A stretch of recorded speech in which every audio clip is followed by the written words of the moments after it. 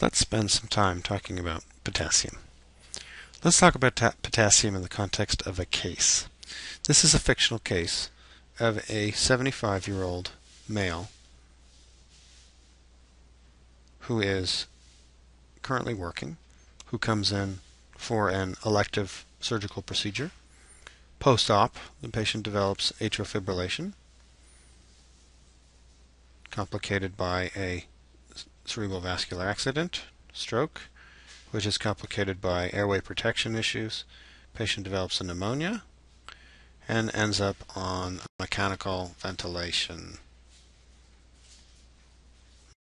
and ends up in the intensive care unit. Thinking about this particular case, we review the patient's preoperative electrolyte panel, and what we notice is that preoperatively the patient's potassium is 4.3. And postoperatively, we notice the patient's electrolyte profile is a complete mess.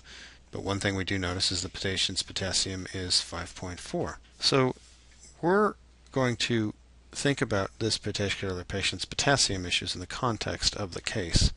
What I wanted to do was split up this electrolyte profile into small pieces so it can be digested on a single talk by single talk basis. So we're going to focus on the potassium. When you think about potassium and you think about hyperkalemia, you think about high potassium, the, the kidney is going to try to keep the potassium in an extremely normal, narrow range, 3.5 to 4.5 milliequivalents per liter. And the reason for that are there are cell processes and action potentials, etc., that depend on a very narrow range of potassium for proper functioning. Where do we get potassium? In our diet. How much potassium do we take in?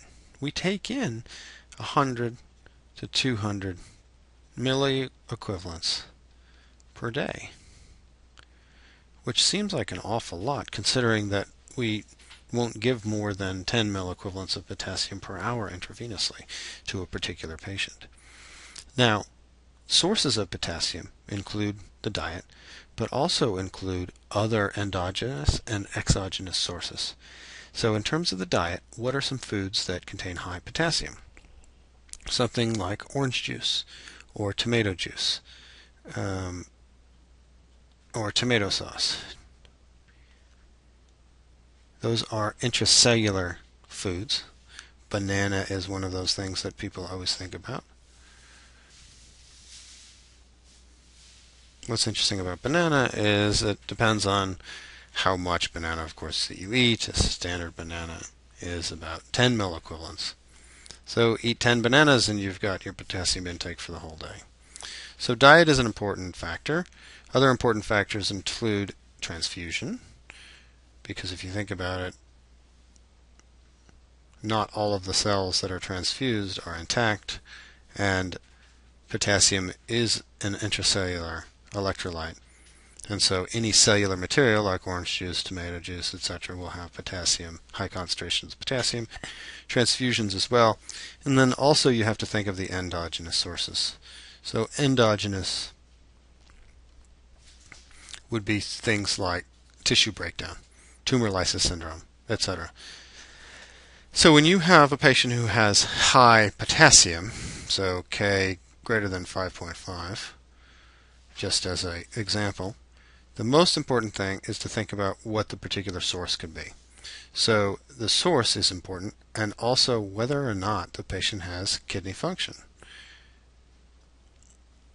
Because the main way that we eliminate potassium is through the urine. So the kidney function is going to be extremely important. Now, what are ways that we can eliminate Potassium. Let's say that we have a potassium of 5.5 and we want to eliminate potassium. I'm not talking about temporizing the situation. I'm talking about elimination. So how do we eliminate? There are a few ways. Number one, we can use a diuretic that wastes potassium, such as something like Lasix. So Lasix will waste potassium. It'll put potassium in the urine. So it increases urine potassium, which is great if the patient's kidneys work. And so you can use Lasix to get rid of an elevated potassium. Number two, we can use something like Kayexalate. And how does Kayexalate work? Kayexalate works by binding K in the colon.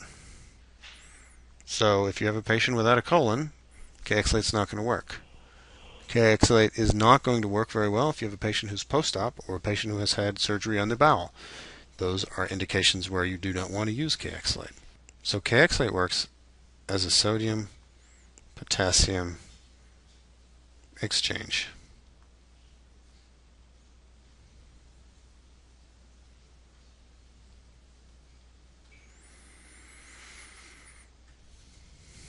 The other way to definitively remove is by dialysis.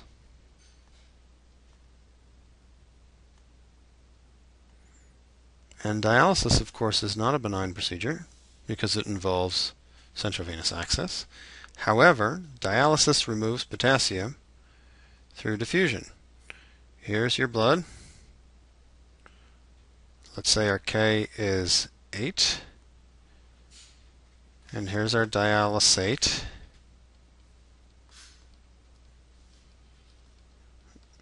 And the K in the dialysate is 2. So what happens is K leaves the blood, goes into the dialysate, and with the dialysis machine, we will basically take that potassium and dump it down the drain. And those are definitive ways to remove potassium. Note that insulin, calcium, do not remove potassium. Calcium protects the myocardium.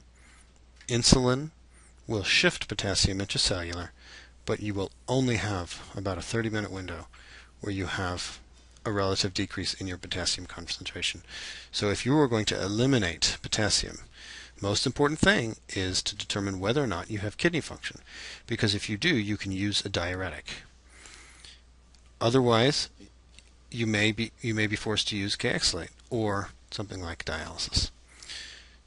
If you have a patient with hyperkalemia, high potassium, very important strategy is to decrease the amount of potassium that the patient's taking.